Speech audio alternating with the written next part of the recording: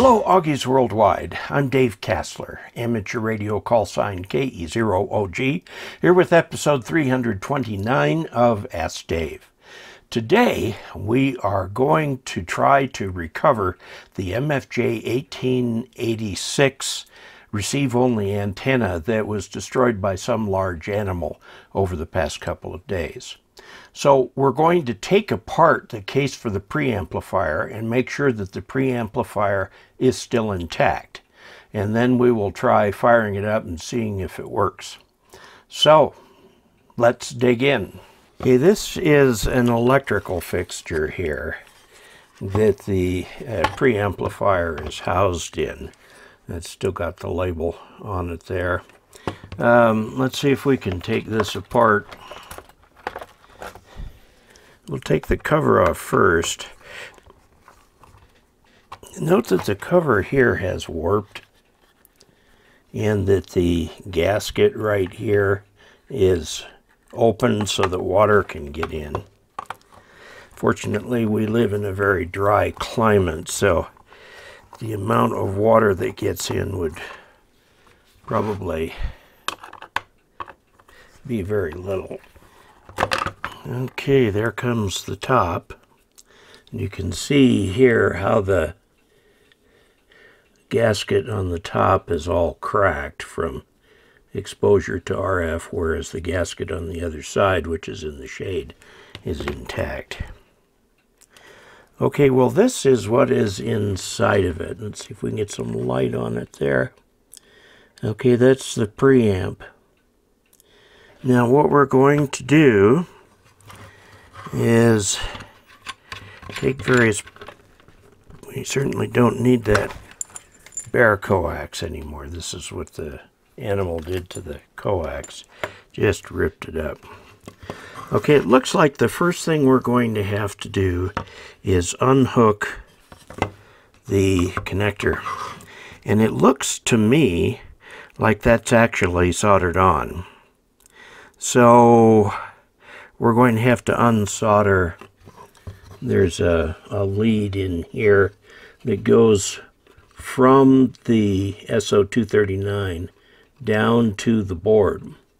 And we're going to have to unsolder that before we take this connector out. And then there are screws in each corner that appear to come all the way through on the back here. So we will take those off next. And then we can uh, get that uh, board out of there because that board is going to have to go into a new electrical fixture. This electrical fixture here is going to have to be trashed. So let's see if we can take that lead off right there. Okay, here we are. Uh, we are trying to get this thing unsoldered here and we've been having a lot of trouble. Let's just try it now.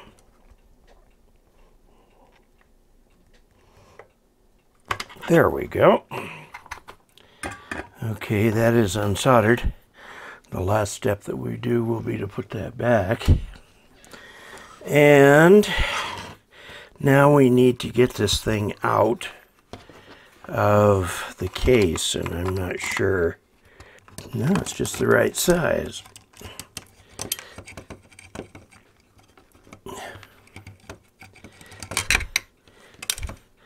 Okay.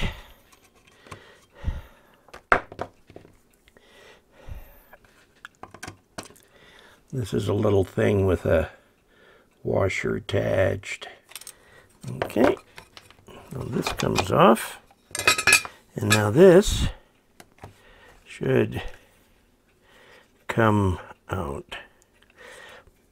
I'm wondering, I think we may have to remove those screws. Oh, we've certainly got to remove this one because you can see right in here that there is a uh, connection right there to the ground. So we'll take that screw out.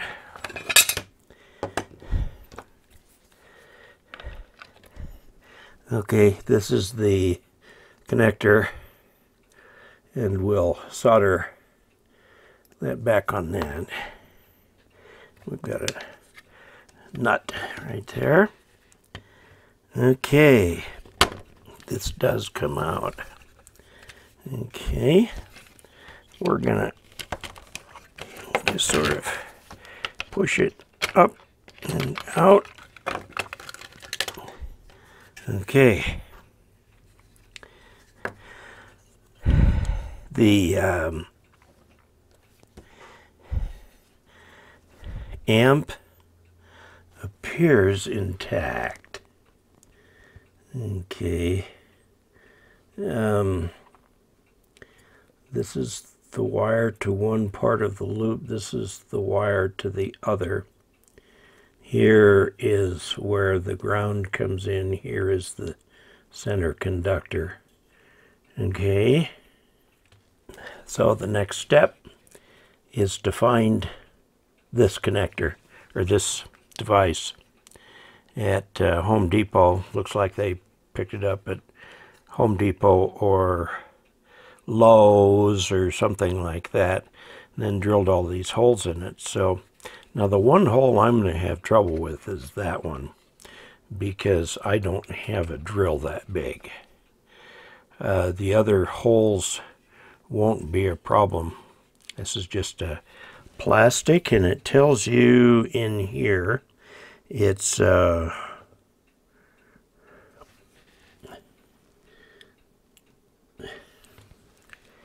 it says Carlon Lamson and Sessions UL PVC 12 cubic inches volume. Okay so that's the size. We'll take this with us down to Home Depot and get it figured out. Okay what I've got in front of me here is this is the preamp right here. I've got this coming from the radio and the bias T okay? And then this is the actual loop. And what I'm going to do if I can figure out where I just put those here they are what I'm going to do is hook all this up.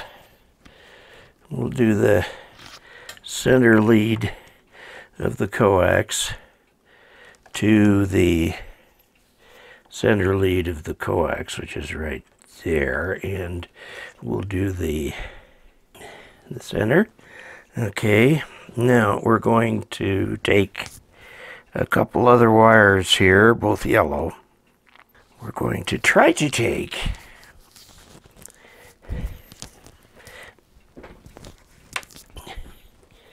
and we're going to connect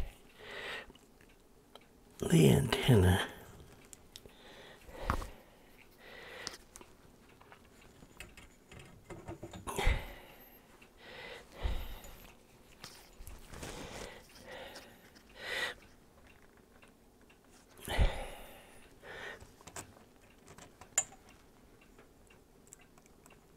Okay, now let's go look at the uh, SDR radio.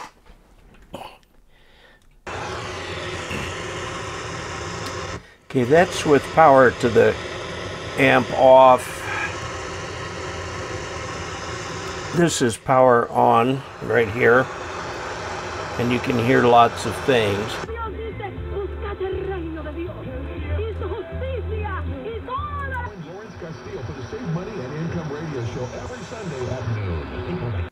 Okay, so what we did here was we hooked up the the the board here.